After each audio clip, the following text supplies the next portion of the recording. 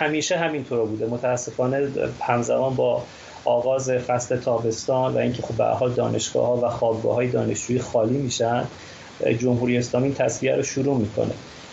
و من خواهشی که دارم از همکاران خودم در دانشگاه ایران از اساتید محترم اون دسته از اساتیدی که واقعا دلشون قلبشون برای ایران میتپه خواهشی که دارم که سکوت نکنن در برابر این ظلمی که داره به دانشجوها میشه. و کاملا حرفتون صحیحه و اون چیزی که من الان اطلاع دارم و از همکاران دانشجوها به دستم می‌رسه متاسفانه موج جدید شروع شده و برای ایجاد فضای ارعاب و تهدید در آستانه اولین سالگرد انقلاب محساس.